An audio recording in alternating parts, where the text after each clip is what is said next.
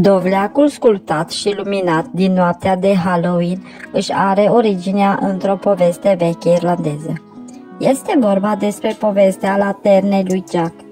Originea dovleacului cu lumânarea aprinsă pornește de la un bărbat haios, dar bețiv, pe nume Jack, care a reușit să păcălească davolul să urce într-un copac.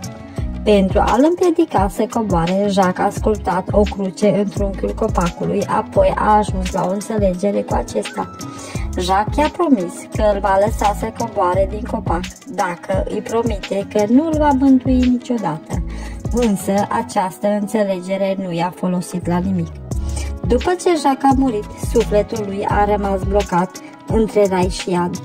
Acesta pentru că Iadul nu i-a permis accesul din cauza legământului încheiat cu diavolul, iar raiul nu i-a deschis porțile din cauza numeroaselor păcate pe care le făcuse pe pământ.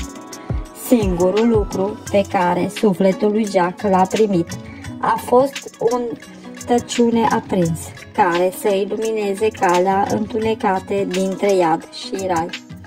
Legenda spune că de atunci Jacques a fost condamnat să rătățească pe drumul dintre cele două lumi, alungând spiritele rele din calea lui, în speranța că își va câștiga dreptul de a fi primit în rai.